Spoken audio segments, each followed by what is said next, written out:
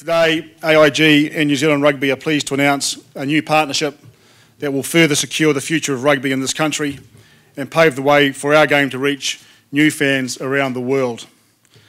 AIG is not a name all of you will know, but they have a proud record in this country, having been here for 40 years, largely in the commercial insurance market.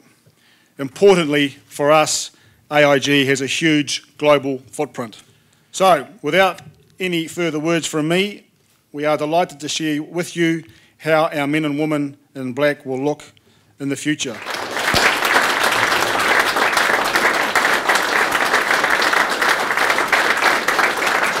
I think you'll, you'll, notice there is a, um, not too subtle difference between uh, the jersey that, that Liam's wearing. Um, we are, I think, just mirroring the respect we have for the All Black jersey. The IRB regulations allow, I think, for 150 square centimetres of branding, which is what the other two, what the other five jerseys have on it.